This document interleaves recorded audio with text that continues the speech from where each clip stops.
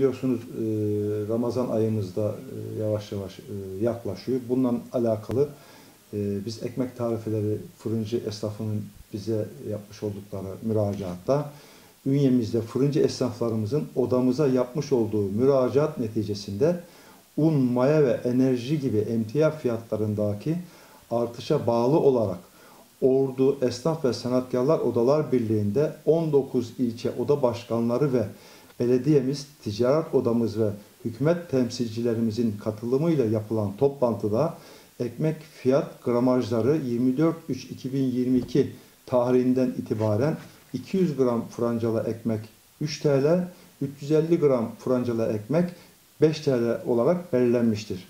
Bunun yanında ayrıca Ramazan pide, gramaj ve fiyatları bir dahaki toplantıda belirlenecektir.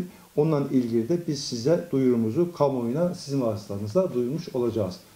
Ramazan pide ve gramaj, e, yumurtalı pide ve sade pide fiyatlarıyla alakalı e, Giresun valimiz ve e, Ordun valimiz fiyatların aynı olması hususunda e, fikir beyan ettiler. Biz de tabii ki e, onların e, belirlemiş olduğu e, görüş doğrultusunda bekliyoruz. 2-3 gün içinde tahminim benim e, Ramazan sade ve yumurtalı fiyatları da belirlenir. Biz de size e, onu e, sizin vasıtanızda kamuoyuna bildiririz. Ben ayrıca biliyorsunuz biz bir pandemi dönemi geçirdik.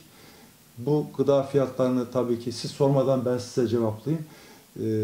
Gıda fiyatlarında bir tetikleme yapmıştı. Bunun üzerine bir Ukrayna-Rusya savaşı da çıkınca bu da bunun üzerine tuz biber oldu.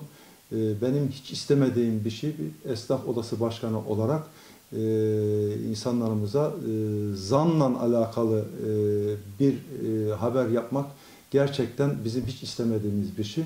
Ama siz de takdir edersiniz ki gıda fiyatlarında dünyada şimdi şu anda gıda ve enerji fiyatlarında aşırı yükseliş esnafa olduğu gibi, insanlarımızı olduğu gibi hepimizi etkilemekte. İnşallah biz bunun e, son bulmasını temenni ediyoruz. Eski günlerimize döneriz inşallah.